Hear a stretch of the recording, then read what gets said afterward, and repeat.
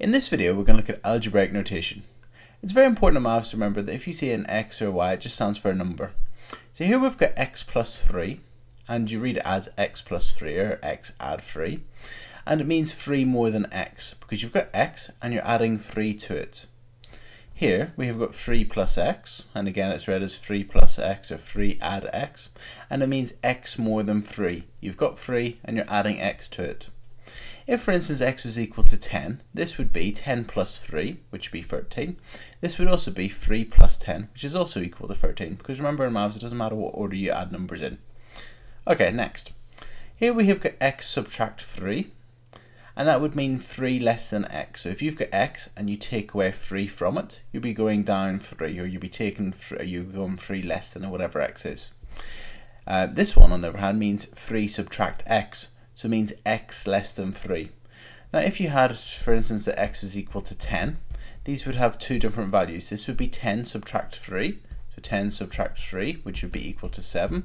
But this one, on the other hand, means 3 subtract 10, which would be equal to minus 7. Okay? Next, 4x. So if you have a 4 and an x beside each other, that means 4 times x. In algebra, you tend not to write the multiplication sign, so you tend not to not write 4 times x like so. You tend to just put it beside each other to write 4x.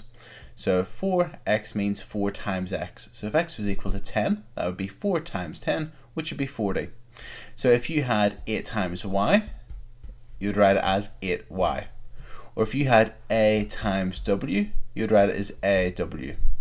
Or if you had um, W times C, you'd write it as CW. It's normal to write it in alphabetical order. Okay, so in algebra you tend not to write the multiplication sign. You just either put the number directly beside the letter, and that means uh, whatever the number is times whatever the letter is.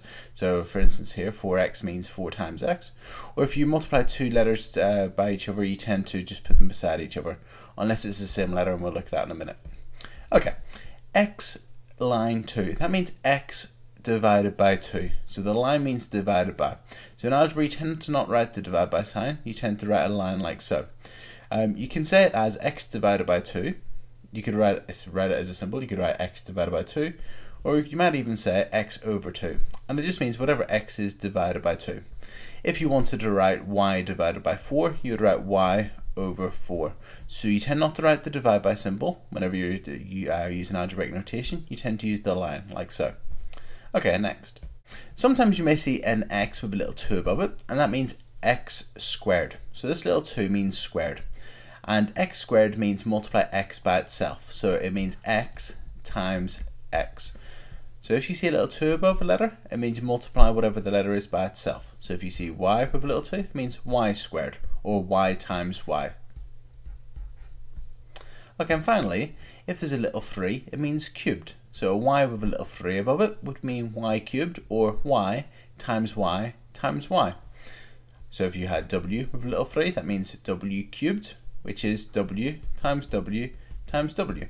And if you know what value it is, you would just multiply that by itself, by itself again. So for instance, if w is equal to 3, you would do 3 times 3 times 3.